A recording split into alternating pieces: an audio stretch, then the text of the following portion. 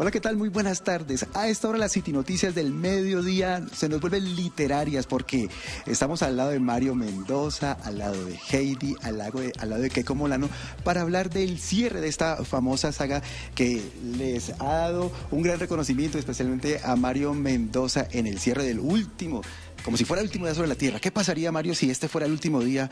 Eh, usted como escritor, ¿qué le diría al público de City Noticias del mediodía? Estamos muy cerca de ese día. Lamentablemente, todos los conflictos internacionales están demostrando que esto va escalando a una gran velocidad. Y Proyecto Frankenstein, en el último día sobre la Tierra, en los 10 cómics, creo que ha dado en el blanco. Eh, nosotros creímos inicialmente que nos íbamos a demorar unos cuantos años en poder confirmar nuestras hipótesis, pero no, lo hemos venido confirmando casi en tiempo presente. Así es que yo creo que estaría bien prepararse y empezar a tener una actitud eh, un poco vigilante con respecto a lo que se avecina. Por supuesto. Pero también está con nosotros Heidi, que hablemos del libro El Robo. ¿Qué, ¿Qué tuvo que ver el maestro Botero en este trabajo?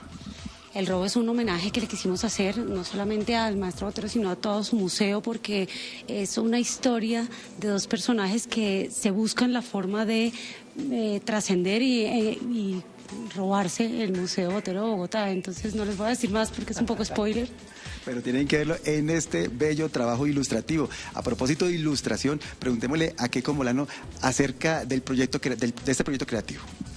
Sí, este proyecto eh, es un proyecto que hemos eh, venido manejando desde hace cinco años. La idea era eh, conformar un colectivo con ilustradores de todo Colombia que fueran muy talentosos, que fueran jóvenes que, y que cada uno conservara sus propios eh, estilos individuales, pero que los pudiéramos articular en un proyecto colectivo. Es mandar el mensaje que en Colombia podemos hacer proyectos de calidad trabajando en equipo.